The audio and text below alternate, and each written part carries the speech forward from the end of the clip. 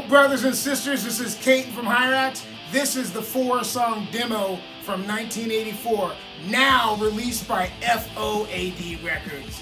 Get them while you can. Colored Wax coming in October. We will see you on tour, brothers and sisters. Again, this is Katon from Hirax. Stay metal and get the new record on FOAD Records.